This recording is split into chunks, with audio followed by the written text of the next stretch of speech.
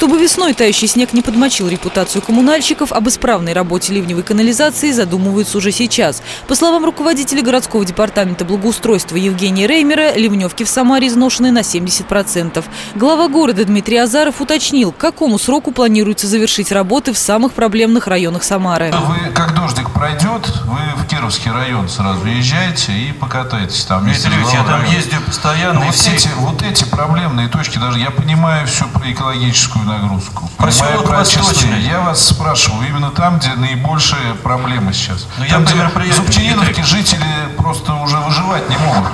Там Поселок Восточный, стоят. 13 год, Дмитрий Игоревич. 13-й. Да, поселок магистральный, э, Литвинова, Макаренко, Восточный поселок, 13 год. 3,1 километр, Тыщевка.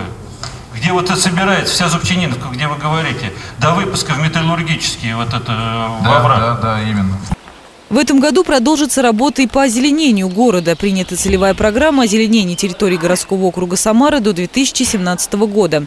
Планируется высадить новые деревья, установить современные поливочные системы. Особое внимание пухонесущим тополям. Многие деревья в ветхом состоянии представляют угрозу для горожан. Многие тополя были высажены без соблюдения санитарных норм, что приводит к за- затенению квартир, снижению инсоляции, разрушению фундаментов, кровли, коммуни- коммуникации. Тополиный пух является фактором повышенной пожароопасности на территории городского округа.